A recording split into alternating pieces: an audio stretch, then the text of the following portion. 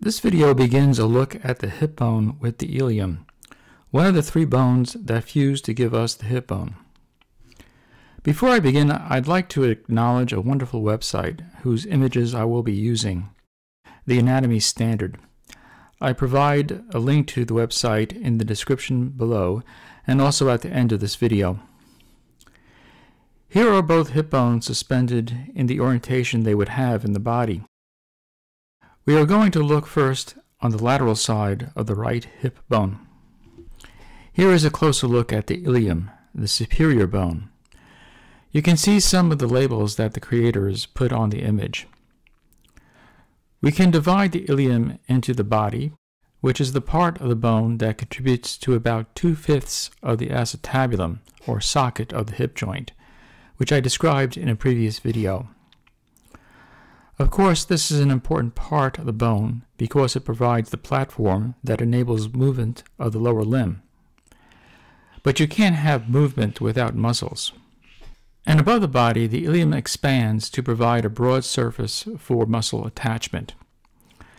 This expanded part of the ilium is called the ala, which simply translates into wing. The narrow superior edge of the ilium is called the iliac crest. Muscles of the abdominal wall and fascia attach to the iliac crest. Projecting from the ilium, there are four spines. These spines are not that dramatic or obvious, but they are called spines nevertheless.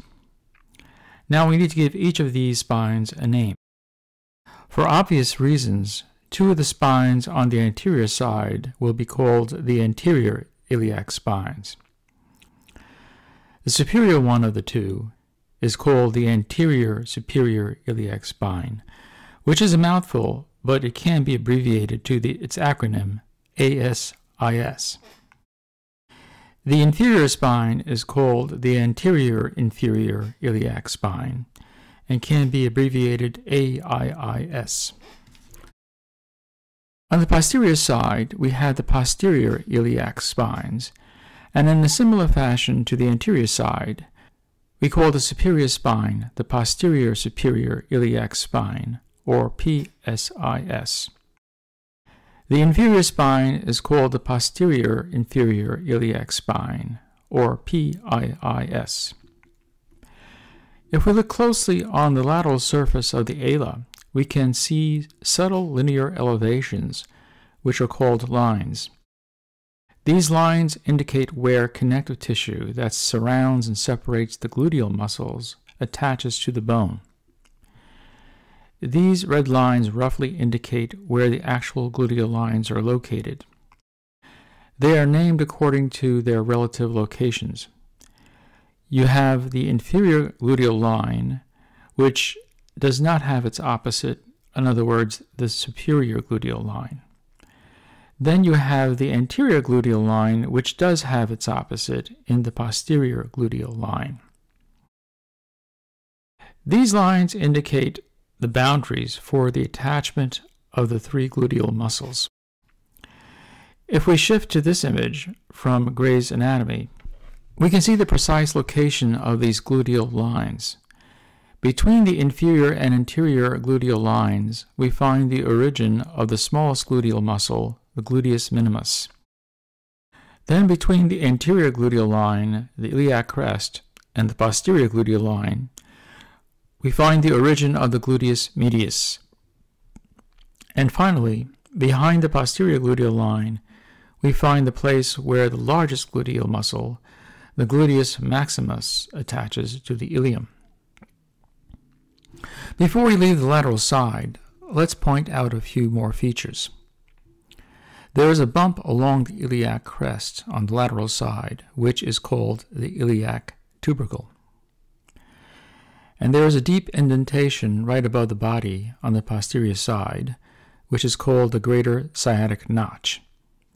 The sciatic nerve passes through this notch. Now let's look on the medial side of the bone. First, there is a line that is part of the pelvic brim called the arcuate line simply because it arcs or bends. Above the arcuate line, the surface of the bone is smooth and concave. This is a kind of depression in the bone and is called the iliac fossa. A muscle called iliacus will attach here. Posteriorly, there is a joint or articulation between the ilium and sacrum of the spine, the sacroiliac joint. This surface has a resemblance to an ear, and for this reason it is called the auricular surface. Auricular is an adjective that means like an ear. The joint between the ilium needs to be strong and stable. This strength is achieved by connective tissue that attaches to the bone. This attachment is evidenced by the roughened surface of the bone that is called a, a tuberosity.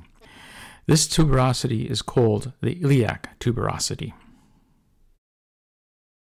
This brings our video to an end. If you'd like to take a quiz, there is a link to a quiz in the description below. Here are the image attributions. And finally, we can't end a video without another wonderful video brought to you by my cat, Apollo. Okay, Apollo wanted some time off. He's threatening to unionize. And he asked his girlfriend Penelope to fill in for him. So here's Penelope at the food ball.